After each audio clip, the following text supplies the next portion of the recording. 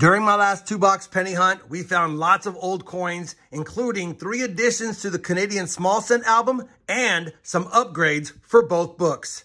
Now that was a couple of Northeast boxes. Today I've got a couple of Dallas Fort Worth local boxes and I'm hoping we can get lucky and get similar results.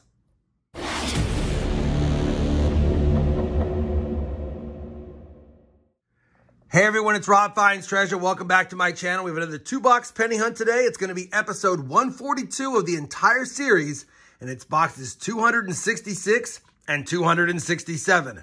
Now, if you've been following along, you know we only need 26 more cents in this Dansco Lincoln penny album to complete it. Of course, they're the tougher dates. As far as the Canadian Small Cents album, we have 65 of the 115, mostly missing ones from the 1950s and earlier, as well as the modern ones from 2000 to 2012.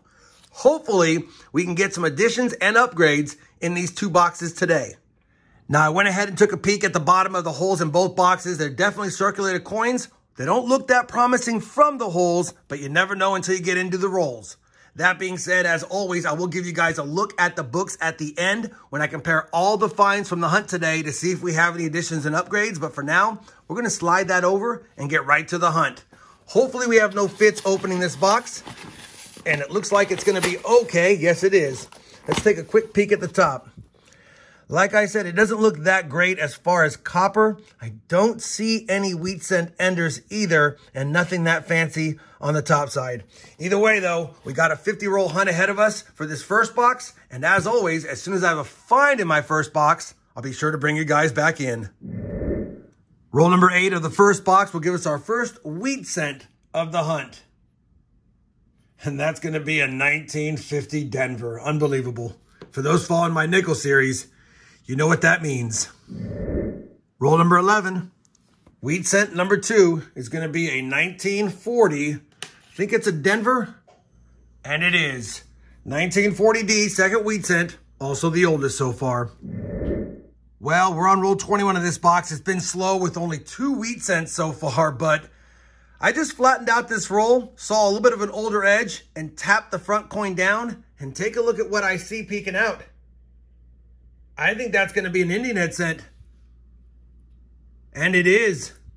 One cent. Man, it looks destroyed. I hope we can get a date on it. I haven't found an Indian head cent in circulation in a while, and it feels good to see one. Please show me a date. And it does. It is destroyed and it's corroded, but it is an 1883 from what I can see. Yes, it is. 1883 Indian head cent found in circulation, 140 year old coin. I know it's in rough shape, but it's still a nice sight to see in a box of circulated bankrolled coins for sure. Hopefully it's got some friends with it. Hopefully that means the box is going to get hot. Now let's get back to the hunt. Same roll. Wheat cent number three is a 1944 Philadelphia. Roll 22. Wheat cent number four, a 1956 Denver. Roll 29. Wheat cent number five. Looks like it could be old based on the wear. Let's see what year it is. It's another 1944 Philly. Roll 31 gives us another chance at an oldie. Wheat cent number six looks pretty slick. Wheat cent number six. And it is old and it has a mint mark. 1929 San Francisco. I don't know if we have that one. It's not a better date, but it's definitely a little bit lower mintage because it's San Francisco minted. I'll definitely take that. That is an oldie to go along with the Indian head cent, and I will double check right now to see if I need that for the book. Unfortunately, we already have a 29S, but it was nice seeing it. Just grabbed roll 39 out of the box, and I must have missed it from the bottom side because that's a wheat cent ender. That's going to be number seven for the hunt. Wheat cent seven, a 1958 Denver. Roll number 40. We've made it to eight wheat cents. And this one's going to be a 1944 San Francisco. Roll 41. Wheat cent number nine. Pretty nice 1955 Denver. Roll number 44 might give us another old wheat cent, but regardless, it'll be number 10 for the hunt. And take a look at that back. Please be old. And it is 1921 Philadelphia. We'll just quickly confirm that. Yeah, 1921. I don't know if I have it. It's only Philadelphia Mint, but I'll have to take a peek as well. Let me put it on the board and see if we have it.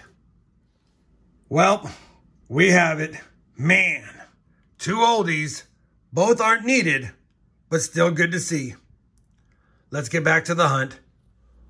Well, we finished that first box of this two-box hunt, and definitely a good box.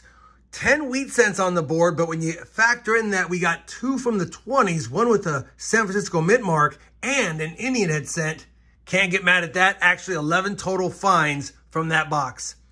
We also got one Canadian small cent, a 1976 copper cent. We got one 1959, 169S, and two nice copper cents, a 1966, not the DDR or the DDO, and a 1968S. As far as copper is concerned, a little light like I expected. Only two pounds, four ounces in the cup, but still almost to five pounds if we have that much in box number two. Speaking of box number two, let's slide it over. I did not see anything promising on the holes in the bottom. Of course, I missed the wheat cent ender in the last one, but let's just take a peek on the top side and see what we got. A little bit tougher to open, a little more glue, but we got it. All right. Yeah, as you can see, doesn't look that promising as far as copper cents, but like I've always said, you don't know until you get into them. All right, 10 wheat cents on the board, one Indian head cent. Let's see what box number two has in store for us. The second box finally broke its silence in roll 12 with a wheat cent find. It'll be the first of the second box, 11th for the hunt. And it's last year, 1958 Denver. Roll number 65 of the hunt. Wheat cent number 12 I caught a glimpse of. It's a 1945 San Francisco, I believe. And it is 45S for the board. Roll number 70. Wheat cent number 13, reverse facing. Another 1944 Philadelphia. Roll number 71 and wheat cent 14 was almost an ender, one off. 1954 Denver. Roll number 73, wheat cent number 15, a 45 Denver. Roll number 80, wheat cent number 16. And that's going to be a 1936. We'll definitely scope it to see if it has any of the doubling, which I do not see, but we always want to double check for it. Either way, it's our third wheat cent pre-1940s, and hopefully there's more in the box. Roll number 81 will give us our 17th wheat cent reverse facing. And it's another 1954 Denver. Same roll. Wheat cent number 18 is a 42 Denver. Very next roll, roll 82. 19 wheat cents now for the hunt. Another 1958 Denver. Roll number 90.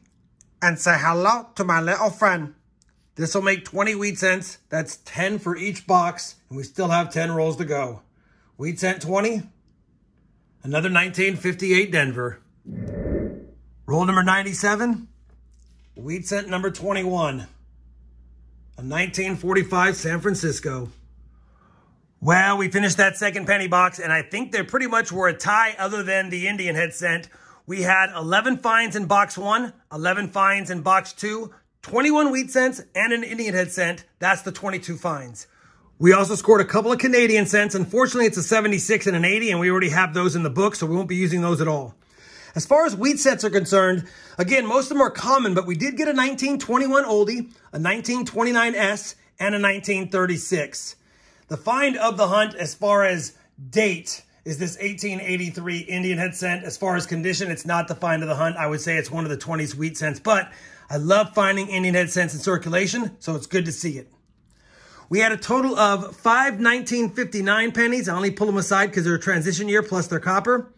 We had three 69Ss, no DDOs, of course, and three bright and shiny red cents, a 63P, a 66P, and a 68S. Definitely will be comparing those to the albums to see if any of those upgrade or maybe some of these. Copper was decent overall. A total of 4 pounds, 12 ounces in the two boxes. 4 ounces less than 5 pounds, but still a decent two-box local hunt for copper for sure. I'll be adding that to my stack. Now what I need to do is compare all of the wheat cent finds to the albums to see if we have any upgrades or additions. I don't think we're going to have additions, of course, but maybe an upgrade. Let me go ahead and do that, and I'll bring you back with a look at the books and, of course, some final thoughts on today's two-box hunt.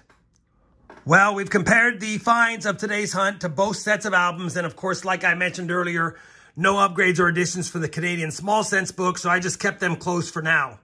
That being said, we did have an upgrade in the Lincoln Penny album, and I had a feeling when I saw that 1955 Denver with just a splash of red on it, it might be an upgrader, and the one we had in here was completely brown. So same amount of detail, but this one, because it has a splash of red, went ahead and upgraded it. That makes it a little bit nicer of a cent. We could not, unfortunately, upgrade the 1929S, the one in the book slightly better, and the 1921, despite being slick, is about the same as the other one, maybe slightly a little bit more hair detail, so didn't pull it out, didn't pop the other one in. So only one upgrade in the book, and now after 267 boxes searched, still stuck at 208 out of 234 found. Of course, now after 81 boxes of finds for the Canadian album, stuck at 65 out of 115. Of course, we added three last hunt. Hopefully, despite the lack of additions and upgrades, but the good amount of finds and the Indian had cent, you guys had fun watching me hunt these two boxes. If you did, I would definitely appreciate that thumbs up. And as always, everyone, happy hunting and thanks for watching.